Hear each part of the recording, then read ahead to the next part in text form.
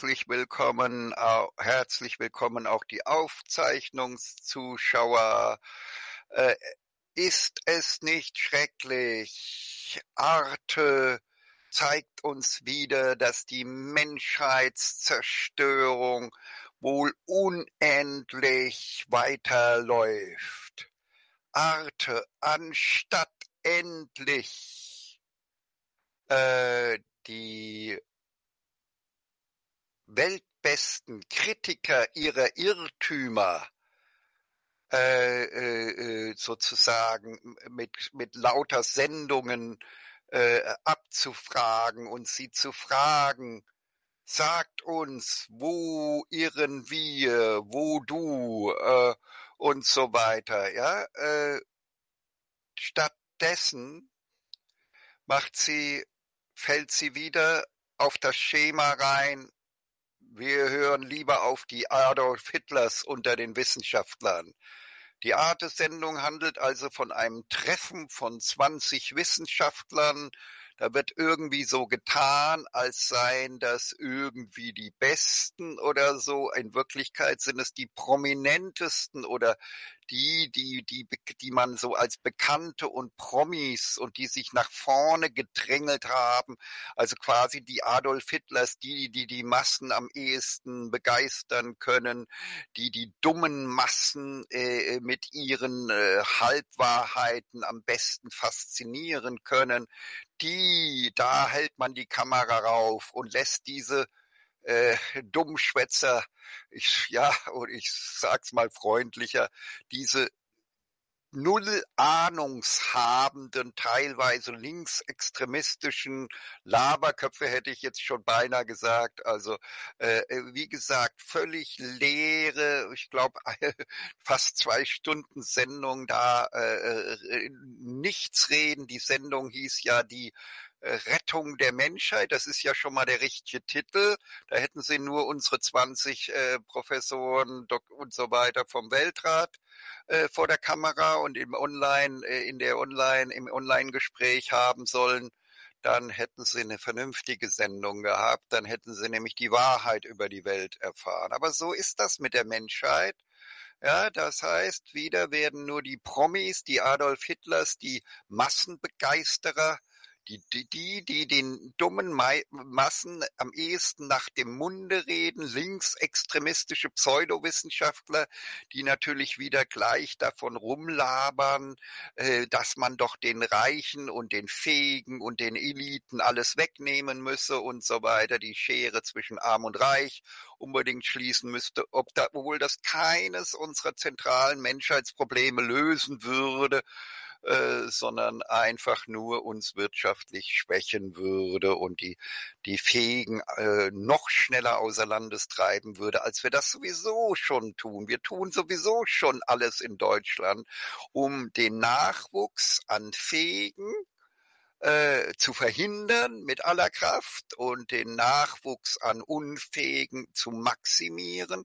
Und wir tun alles in Deutschland, um die Auswanderung aller Fähigen zu beschleunigen und die Einwanderung aller Unfähigen zu beschleunigen. Ja, so, und, und die Einwanderung aller Fähigen bremsen wir ab, so gut wir können. Ne? Ja, so. Und damit machen wir doch schon alles richtig, um uns dem allmählichen Niedergang des römischen Reiches Deutschland zu nähern. Ne? Also, dabei sagt noch äh, immerhin eine, äh, kommt es zu einem Zitat in der Arte-Sendung, äh, wenn die Gesellschaft von der Realität abgeschnitten ist, geht vieles schief. Ja? Das ist doch gar nicht so weit entfernt von unserem Satz. Jetzt gehe ich mal mit der Maus auf unsere Homepage. Ich hoffe, Sie sehen das. Äh, wir befinden uns seit 400.000 Jahren in der Menschheitsepoche des Irrtums, in der alles von oben bis unten voll von gefährlichsten Irrtümern ist.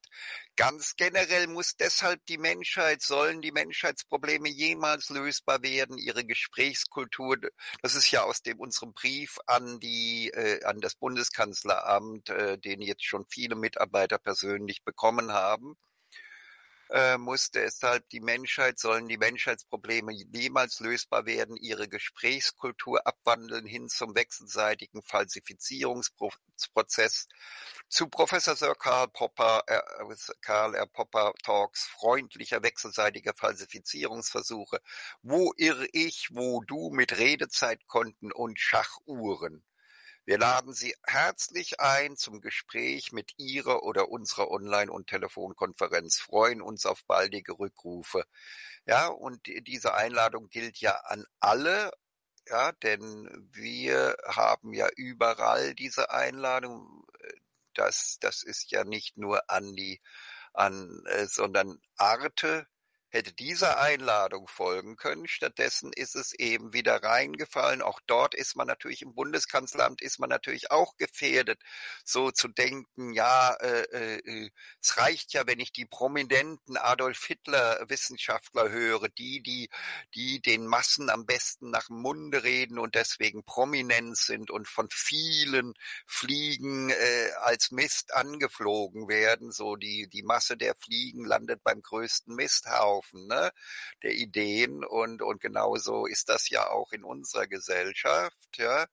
Äh, und äh, insofern, äh, ja, wenn die Gesellschaft von der Realität abgeschnitten äh, ist, geht vieles schief und das haben wir seit 400.000 Jahren in unserer jetzigen äh, Menschheitsepoche des Irrtums. Ja, ich glaube, das ist das zentrale Thema äh, und äh, das ist das Unverstandene, ja.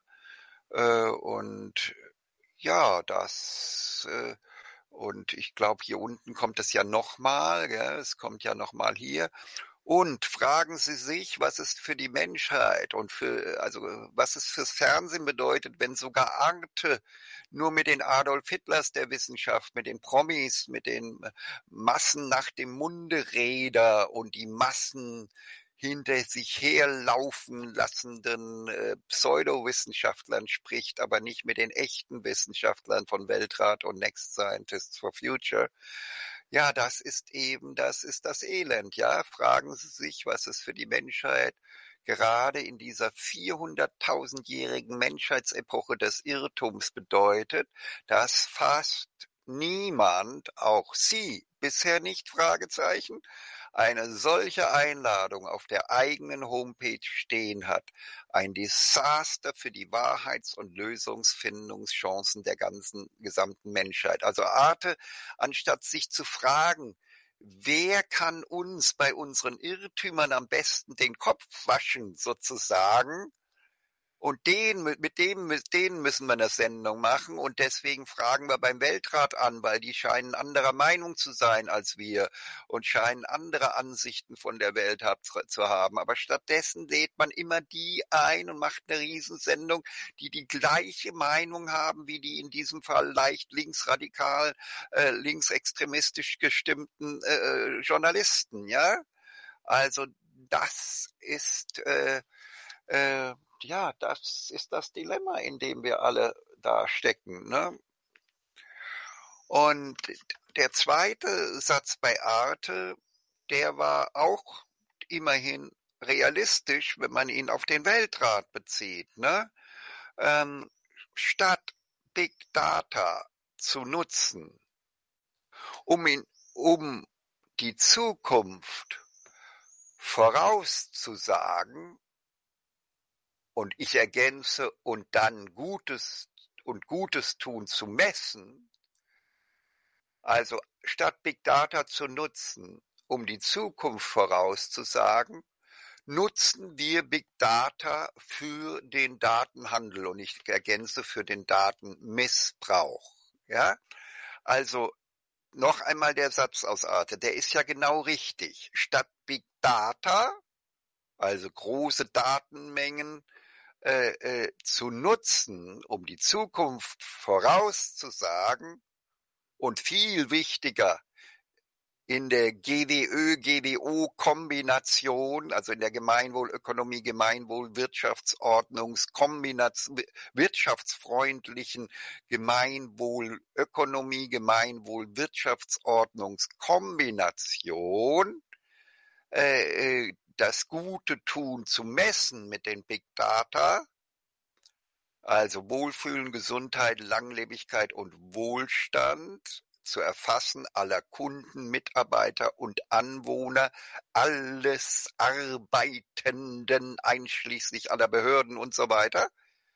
Und Sozialsparten und, und, und Weltsozialsparten und so weiter und das finanziell rückzukoppeln, so dass pleite geht, wer uns weiterhin schadet an Wohlfühlen, Gesundheit, Langlebigkeit und Wohlstand, zum Beispiel durch Lobbyistenkontakte und Konzernkontakte, was es, wobei es Lobbyisten dann eben nicht mehr gibt. Ja, wenn wir die Bundesländer, Bundesliga der Landesregierung einführen, dann haben wir automatisch keinen Lobbyismus mehr, weil ein Politiker keine Sekunde sich mehr Zeit nehmen kann für den Kontakt mit Lobbyisten, denn sonst ist er schneller weg, weg abgewählt, als er gucken kann. Ne?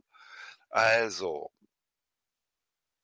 nutzen äh, stattdessen nutzen wir Big Data für den Datenhandel oder ich sage es genauer für den Datenmissbrauch zur kommerziellen Sucht, Kaufsuchterzeugung äh, bei den dummen Massen sozusagen, ja, äh, und bei den Massen, ne? wobei wir ja alle anfällig sind. Auch ich bin sicherlich ganz oft sicherlich Opfer des der der der äh, der Werbungsgehirnwäsche Propaganda, Manipulation, Werbung, Gehirnwäsche, Propaganda, Manipulation, Werbung, das beeinflusst mich ja auch immer wieder und, und so weiter. Also wir müssen alle, niemand sollte denken, sogar niemand vom Weltrat sollte jemals denken, dass er nicht erreichbar sei von Gehirnwäsche, Propaganda, Manipulation, Werbung durch äh, parasitäre Mime, Killer, Viren des Geistes, irrationale Kognition, kurz Vorteil heilbringende Irrtümer all der Sparten,